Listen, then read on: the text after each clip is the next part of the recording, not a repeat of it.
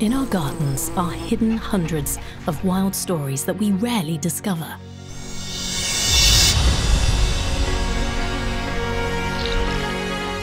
Great dramas of life and death.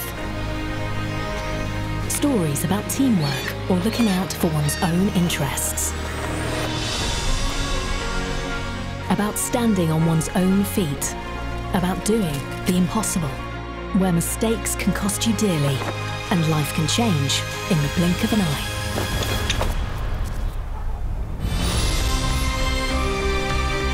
But where the most incredible things can also happen. For a year, we followed life as it unfolds in our gardens to get close to the secrets of the garden.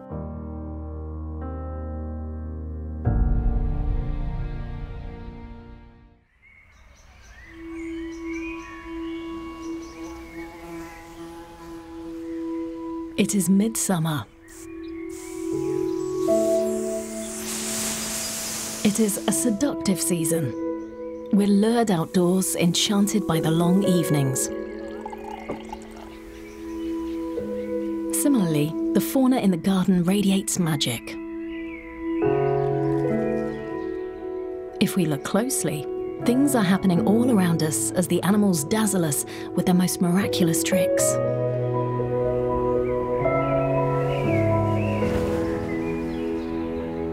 Especially around water.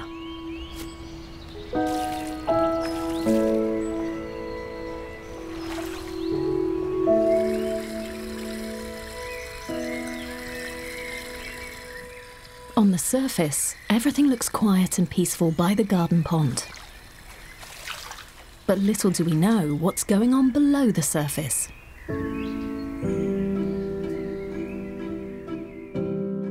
Garden pond has its own little secret. A creature with a magical nickname, Little Dragon. This is the male common newt. This female newt is on the lookout for a male dragon to call her own. She spends most of her time on land, but it's the end of the mating season now. She's slightly larger than normal because she's full of eggs and ready to mate. But first, she needs to find an attractive male down here in the depths of the garden pond.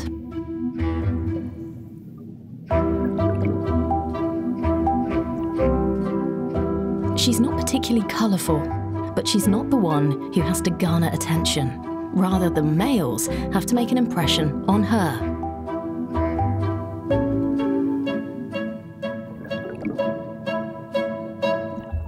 She spots an attractive male waggling his tail flirtatiously. During spring, he has undergone a transformation, developing an impressive jagged dorsal and tail crest.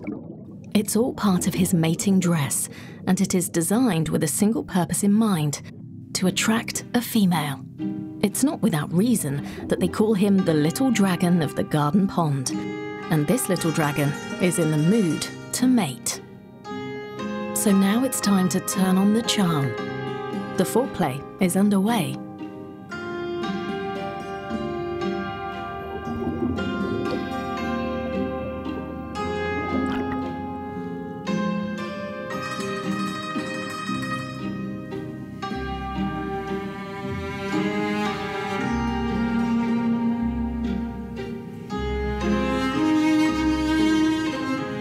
She's not quite convinced yet.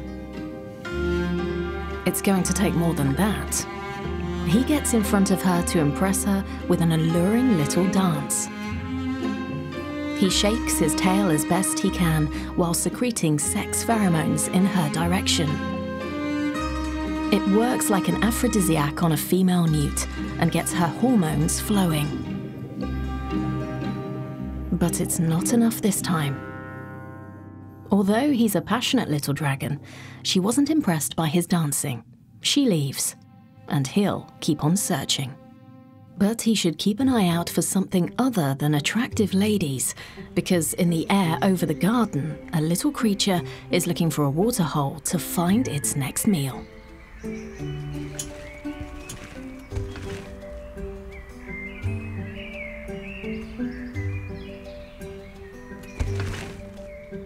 To this little creature, it looked like the surface of a pond. The water beetle, or great diving beetle, is mistaken since its eyes aren't evolved to recognize trampolines. It may look like a helpless beetle to us,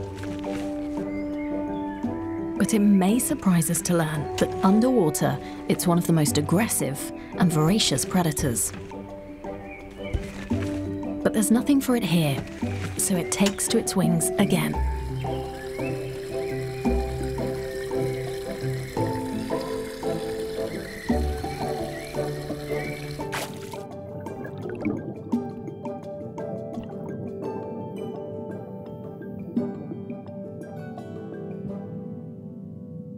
Plunging into the depths, the diving beetle is agile and powerful. Here, it is in its element. This female's body is full of steroids.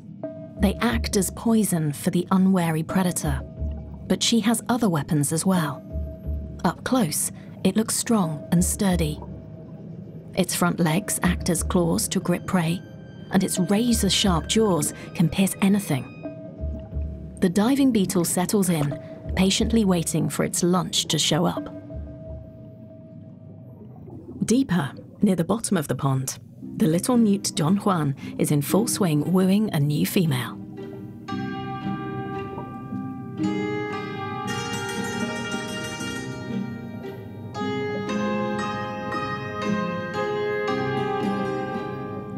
He shakes his tail to the next lady in line Will he get lucky this time?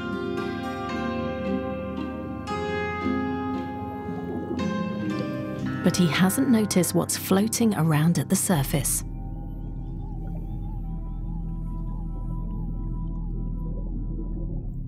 A newt is probably too big of a mouthful, or is it?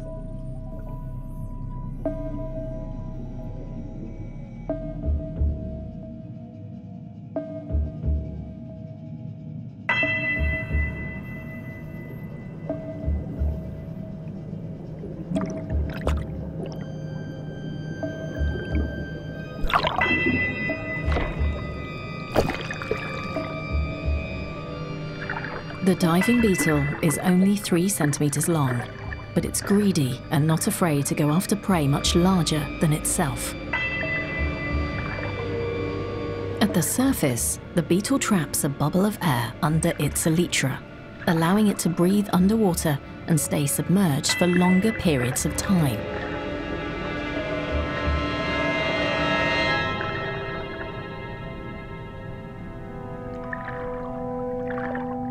The male newt puts up a desperate fight for its life.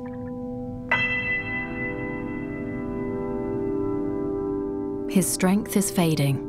He doesn't stand a chance against his aggressive and ferocious opponent.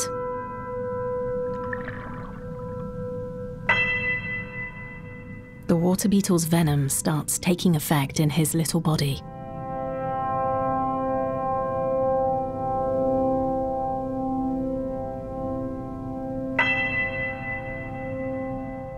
The young newt ends his days as a greedy water beetle's meal.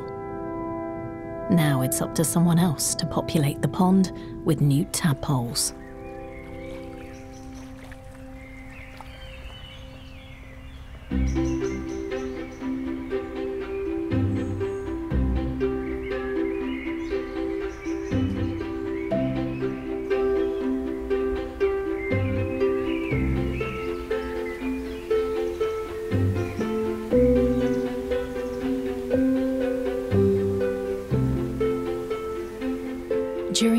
Wonderful time of year, where the days seem like they'll never end, animals are awake for much longer. They use our gardens in very different ways. Some as a pantry, some just stop by now and again. And some are shy, making sure to keep a safe distance.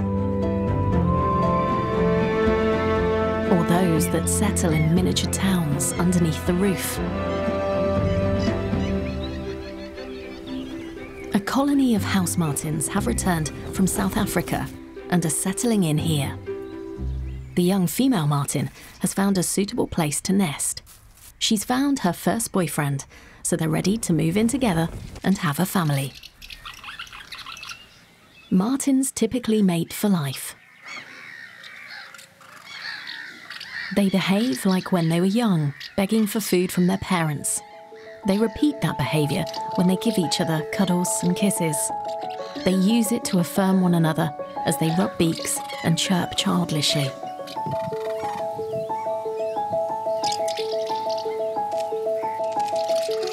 The young couple have found a nice spot to nest. If everything goes according to plan, they will have hatched at least two clutches of eggs before heading south for the winter. They have to build and set up their first nest together, but that can be hard. Luckily, they can draw inspiration from their neighbours. House martins are social animals that build their nests close together like terraced houses.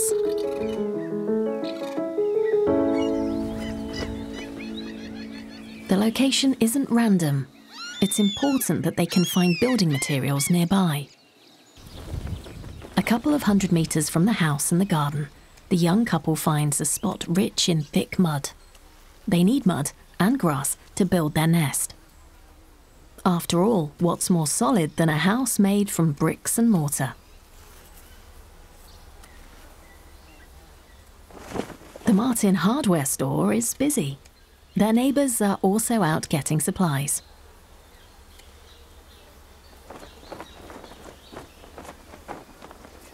When they've gathered all they can in their beaks, they fly back. They will make upwards of a thousand trips back and forth to retrieve grass and mud. It's lucky that they're two because constructing a new house always poses unexpected challenges.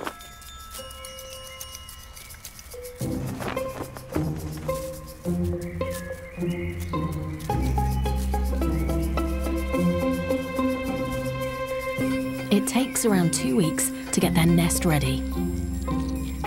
Sometimes the male martin pitches in, but apparently he much prefers to supervise.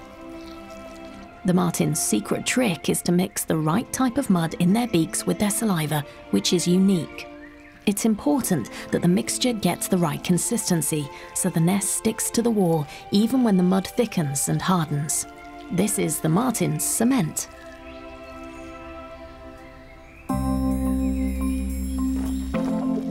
The male looks like he wants to contribute after all. Proudly, he has brought back a muddy leaf. Maybe he can find a suitable place for it all on his own.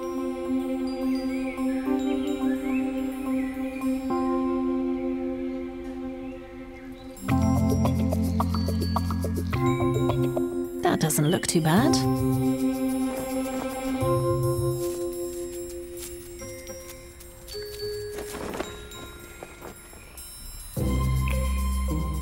Female doesn't appear to agree.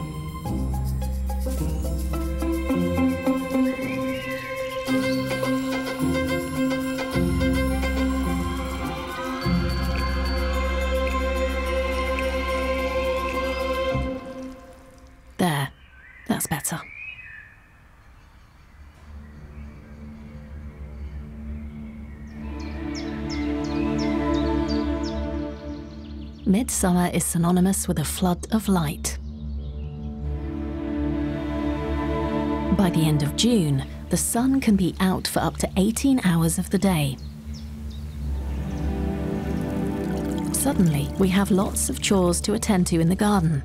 We're busy trimming the hedge before Midsummer's Day and harvesting the first berries of the season. The light is like a tinderbox for photosynthesis, making plants explode with life. So much light also means rapid growth for the rows of lettuce and cabbage in the vegetable patch. They stand side by side, twisting and turning to catch the sun's rays. But juicy cabbage attracts uninvited guests the cabbage white butterflies need to lay their eggs. On a leaf in the nearby branches, a couple sits entwined. The close embrace is part of their mating act, and they can keep at it for hours. The male must deposit a large amount of semen, a full 15% of his body weight. Apart from reproduction, she also uses his semen for nourishment, so she has the strength to lay many large eggs. He has to deposit as much as possible, and that takes time as much as seven hours if he's young. When they part, she's ready to lay her fragile little eggs. And as a cabbage white, she knows exactly where she prefers to lay them. She found a suitable leaf and laid a cluster of tiny pale yellow eggs. Few days later, the miracle starts unfolding. One of the eggs is moving and bubbling. The process has begun.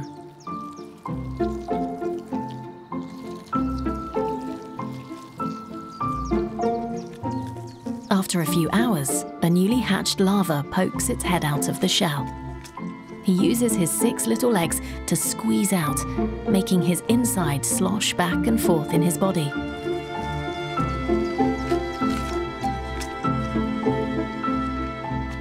After a long struggle, the baby larva finally escapes. And together with his siblings, he regains his strength by feasting on the eggshell. The family dinner is underway. Soon the baby larva will be ready for the main course crispy leafy greens. Cabbage is his favourite plant to munch on. Their big appetites are a problem for the cabbage plants. They may look small and innocent, but before long, they can devour an entire patch. But they have to look over their shoulders because the plants won't stand idly by. They call for reinforcements to defend them. It sends out an alarm call by emitting a special scent, which is picked up by the wasps and sparrows in the garden. They keep a close eye on anything that moves. But the little larva knows to hide it fully intends to grow up to become an adult butterfly one day.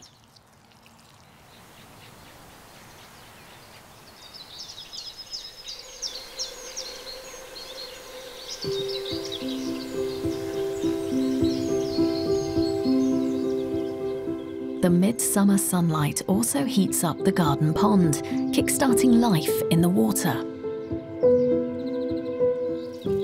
Animals mate, and plants grow uninhibited. It looks remarkable, but beneath the beauty lurks brutality. Under the water, graceful plants with glittering pearls strewn over them swing to the current.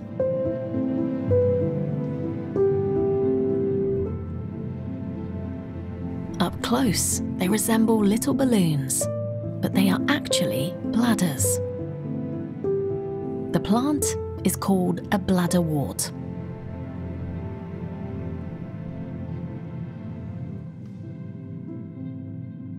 Around the bladders, microscopic creatures float. Water fleas, miniature snails, and ostracodes dance weightlessly around the plant. But the pretty and graceful bladderwort is a beauty in disguise. They should be wary.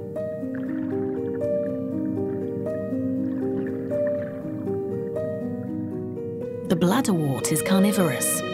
If you look closely, you'll see tiny silhouettes of water creatures struggling for life in the transparent bladders. A single plant can trap up to 150,000 tiny victims at a time. It is violent and impressive. Every bladder is hermetically sealed with a low pressure seal created by expelling air. An innocent little ostracode is tempting fate. It's climbing around on one of the bladders when suddenly it bumps into one of the feelers. The ostracode is sucked into the bladder faster than the eye can see. It doesn't stand a chance. It will be suffocated and slowly dissolved by enzymes. The asphyxiation will last several hours.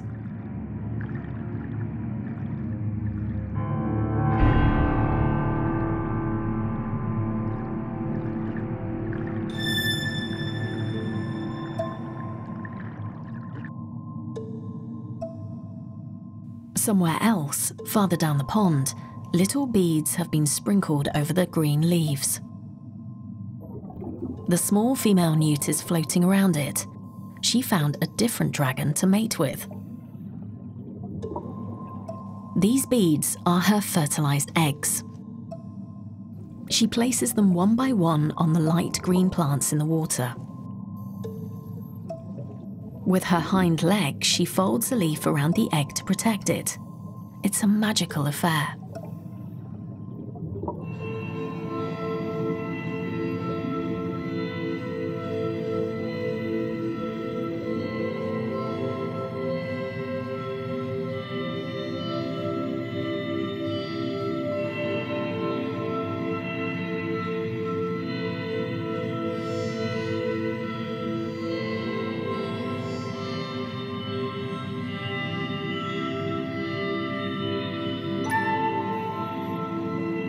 In the days to come, she will lay between 60 and 100 eggs.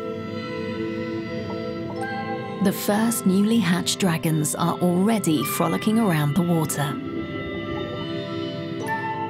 But both in the depths of the pond as well as on land, larger foes are aware of how life is thriving in the water.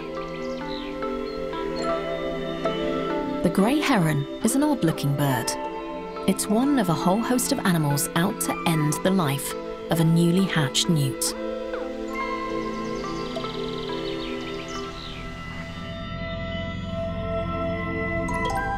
Every second in our gardens is a matter of life and death. If you want to survive, you have to adapt. This furry animal is an expert at hunting both in and out of water. It's an animal we hardly ever see due to its masterful ability to hide.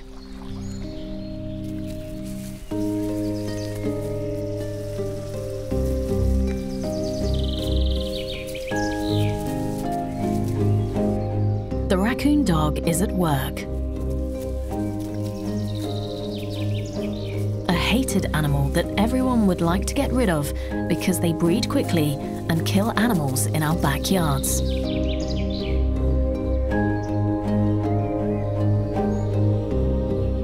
This male is hunting for food. His survival skills are unrivaled. His ancestors would have had to evade fur trappers. His mottled fur is beautiful and unique. It makes him blend into his surroundings. The stripes resemble rays of sunshine in the woods and grass.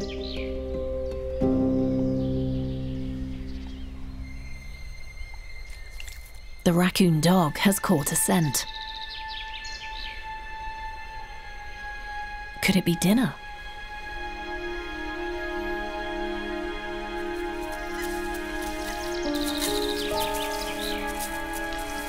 He'll take whatever he can get near and doesn't think too highly of himself to eat a dead animal. That's a part of his diet. He's an efficient scavenger in our gardens sinew, bone, and cartilage, it all goes down the hatch. This omnivore doesn't mind feathers in his mouth. He's used to eating almost anything, so a full coat of feathers for dessert is definitely an option.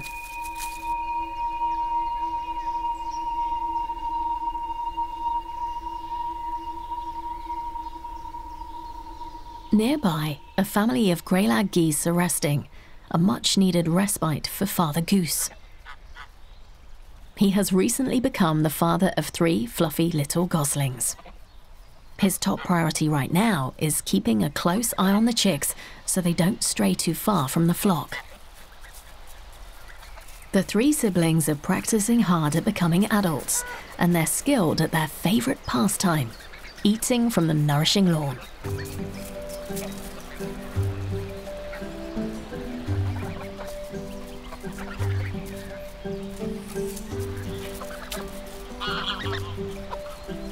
Dad is keeping an eye out so they can eat in peace. The sister is showing good table manners with her mother. But her brother is a glutton and doesn't have the hang of it yet. A whole lawn is too big of a mouthful.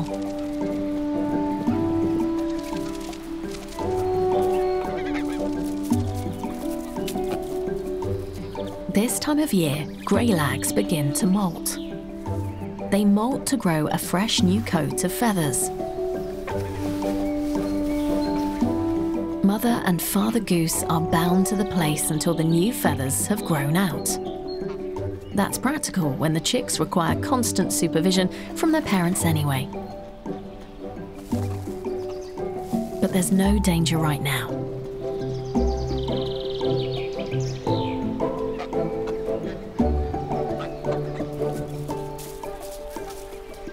The gluttonous brother is insatiable and can't get enough of the green grass. But he's not far away, so Dad isn't worried.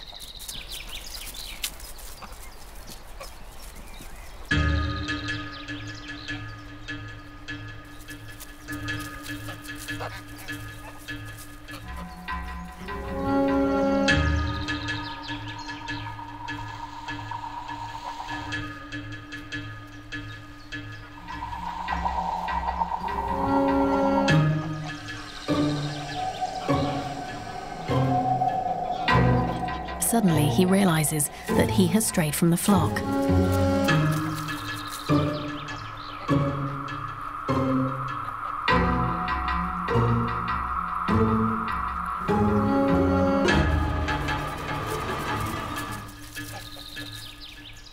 The gosling got lucky. The raccoon dog was already full.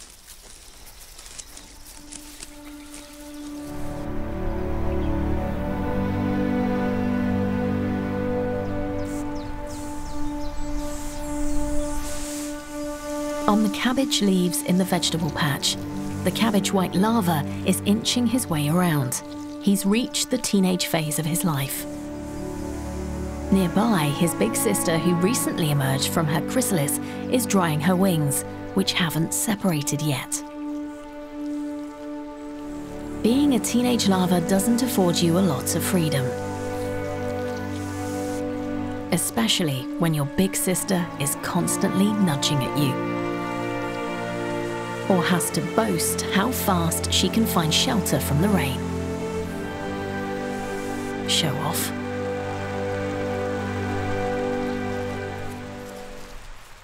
Thankfully, it won't be long before its little brother's turn to be transformed into an adult. Midsummer is the time of transformations, where nature's biggest miracles occur. The chubby cabbage white larva is ready, his teens are over. He has fastened himself to the stalk. Now it begins.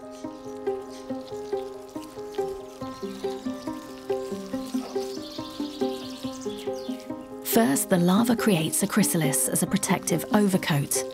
Finally, he sheds his skin before entrenching himself entirely. He leaves behind his eyes and everything.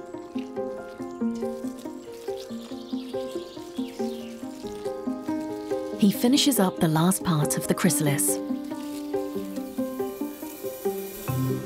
Inside his body will dissolve, but in just a few weeks, a new one will be created in the chrysalis. It will become this magical little wonder. The cabbage white butterfly.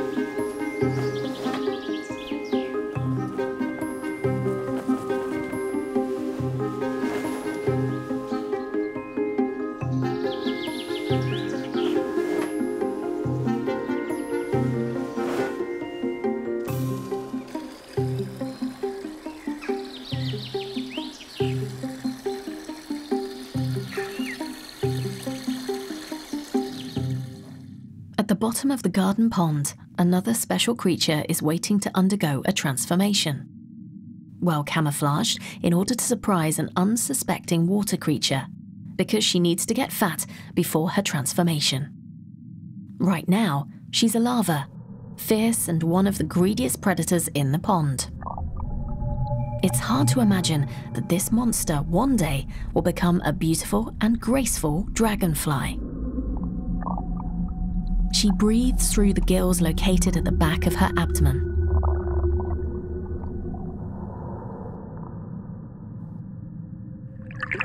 She is a glutton and eats all day long.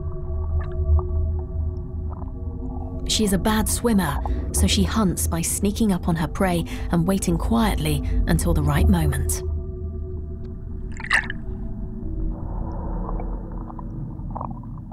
When the prey is close, she shoots out her mouth, devouring everything.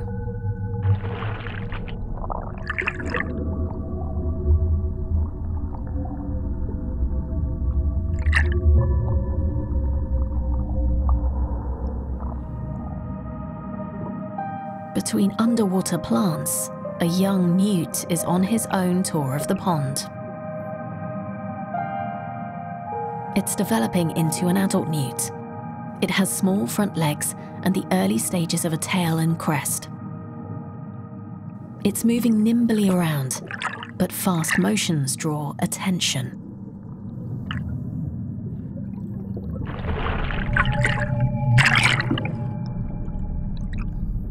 The young newt quickly becomes a nourishing meal. The dragonfly larva has struck again. She has to get fat enough to leave the pond and morph into a dragonfly.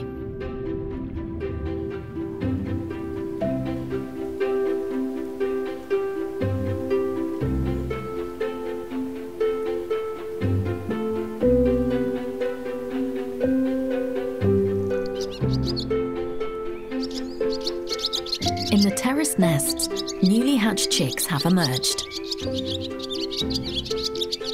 Lovers have had two lovely yet demanding chicks.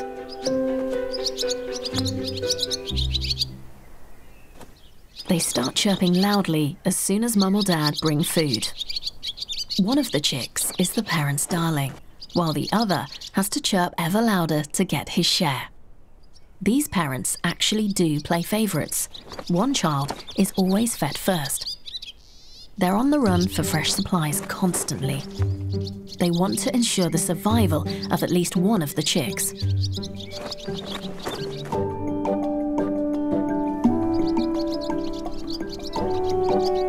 This is how we know martins best. Lightning fast, beautiful flyers carrying out the most breakneck ascents and dives. Over the course of a summer, a single martin can catch 250,000 insects while in the air. Martins normally hunt at around 20 metres off the ground, but today they're much further down. Low-flying martins are a sure sign of rain. The insects descend and the martins follow after.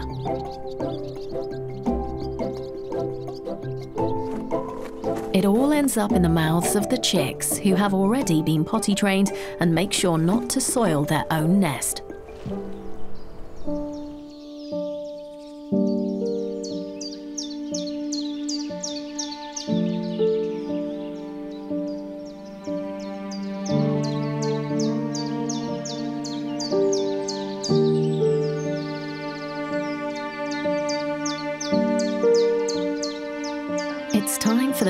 Dragonfly larva's makeover. She has climbed onto land and picked a stalk. Here she will undergo her final magical transformation. Over the course of the next four hours, she will shed her larval skin and her ugly outer layer will receive a makeover. She will wait for the sun to dry her skin so she can initiate her metamorphosis.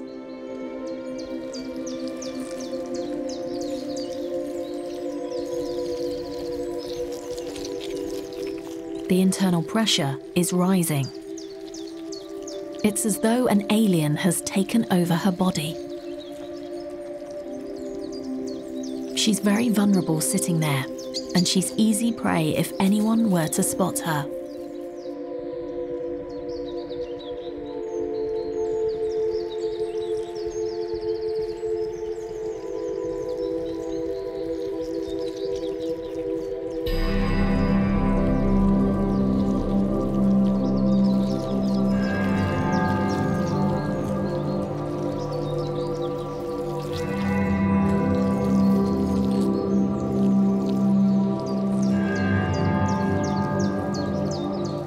She tears herself free of her old skin. A painful birth, ripping out her esophagus and intestines.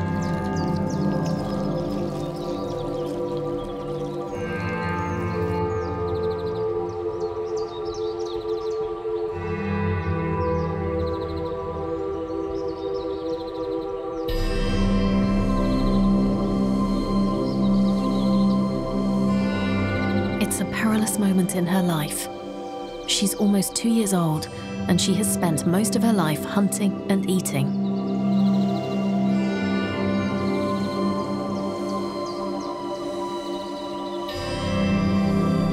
She hangs face down. Her old body remains as a hard, empty husk. She leaves her old self and waves goodbye to childhood.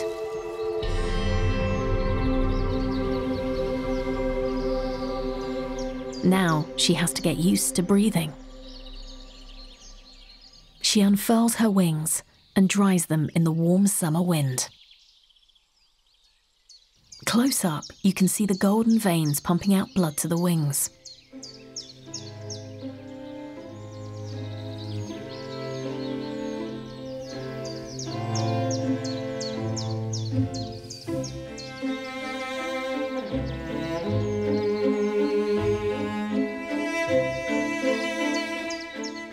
Finally transitioned into adulthood, having completed her transformation.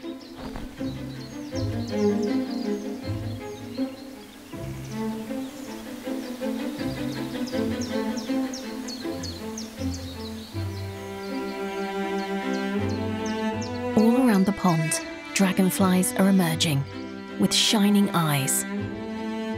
This one sends us its greeting before finally taking off. Three, two, one, fly.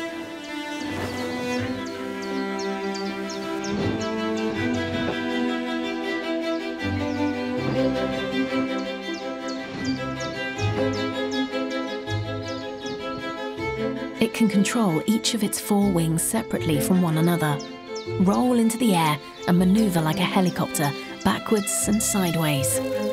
But they're always in full control. With the wind in their backs, they can reach speeds of 130 kilometers per hour.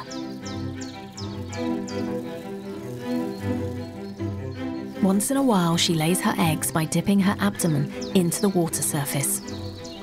Although she's a skilled flyer and hunter, she's still vulnerable. Having reached adulthood, her life is drawing to a close. She only has a few months left to live, and very shortly, she will find a place to die. Maybe on a branch in the garden.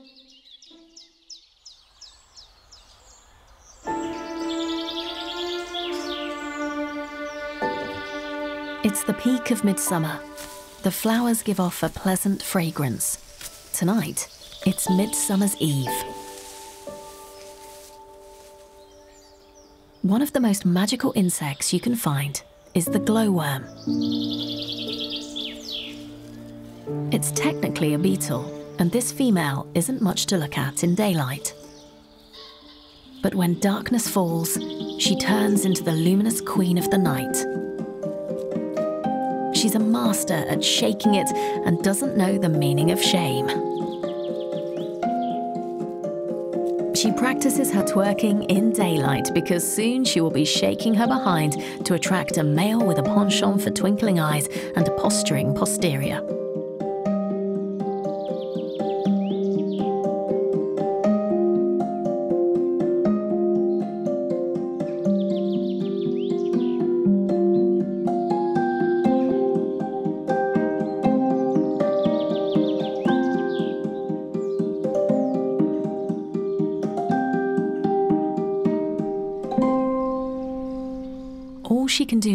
Is wait for nightfall.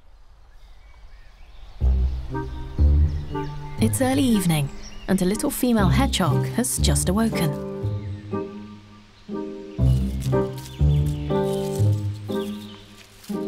She's looking for a new shelter. Hedgehogs have many nests all over, and now she's looking for another one. This time of year, there are lots of suitable dry heaps to hide in. Instinctively, she seeks shelter in the dense brush where it's easier to hide from the world around her.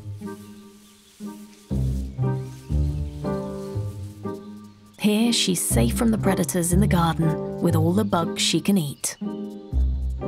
Her sensitive snout allows her to pick up everything insects, predators, and danger. It's her alarm system telling her when to fight back and when to flee. Unknown and unusual scents will trigger her fright paralysis. But right now, everything is safe and she can wait for dark so she can go hunting.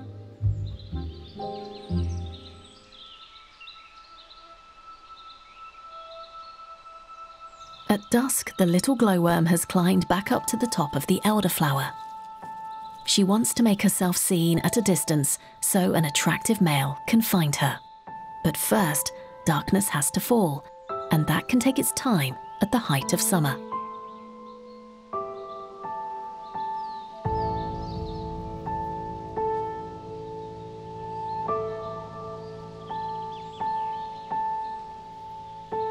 At long last, the sun has set completely.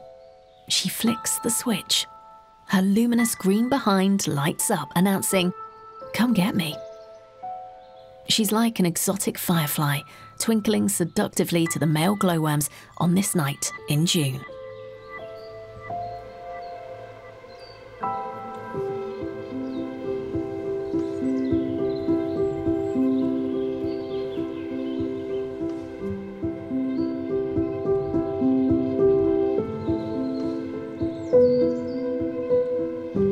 she's not the only one lighting up the night. The competition is tough. It's like a never-ending light show. The flashing fairy lights make her little green behind look pale, and she can't stand out the way she needs to.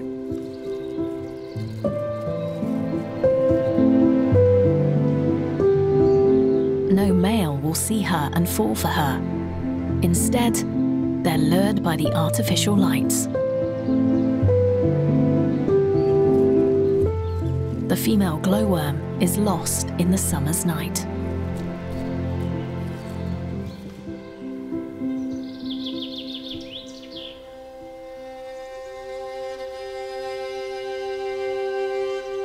It's Midsummer's Eve.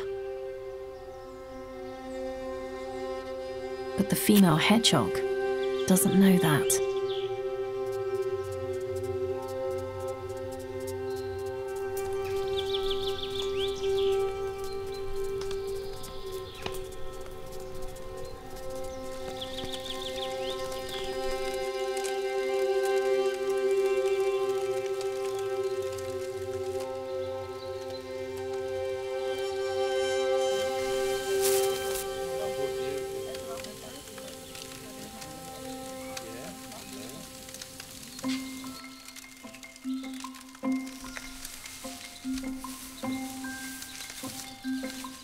Gardens also belong to the animals. This time was a lucky escape for the female hedgehog.